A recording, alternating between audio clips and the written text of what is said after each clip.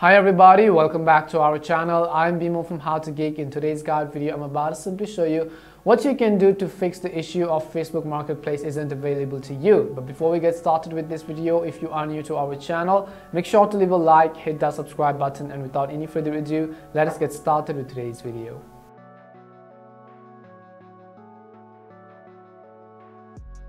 How to fix if the Facebook Marketplace isn't available to you or your region.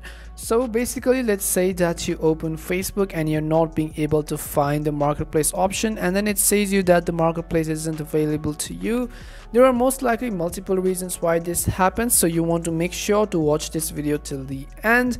First of all what you can do is actually simply save your login info. So I'm going to simply go ahead and tap on logout and you can simply tap on log out now right over here in, and set up and save your info if you want to.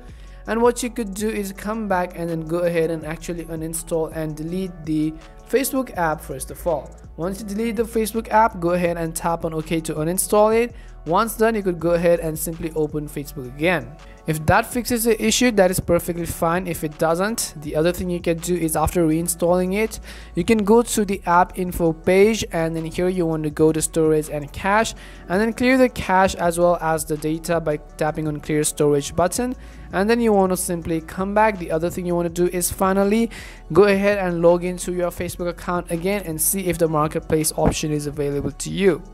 The other thing you could also simply do is actually update the Facebook app. So in most cases, it could be the reason that your Facebook app is actually outdated and you're using an outdated version. And that is why you could actually be facing bugs and errors. So you could go ahead and type in Facebook and go ahead and simply actually update the app to the latest version. If you see an update button there, go ahead and simply tap on the update button in order to actually update it. Even if this didn't fix the issue, the thing you can do is finally press and hold the power button and then go ahead and simply power off and restart your device.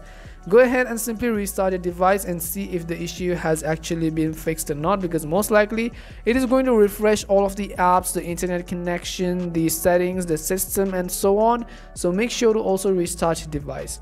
We hope one of these solutions may has helped fix your issue. If it did help fix your issue, make sure to leave a like and subscribe to the channel. If you have any more questions, queries or doubts, simply make sure to also leave them down under the comment section. Thank you very much for watching and see you soon in our next video.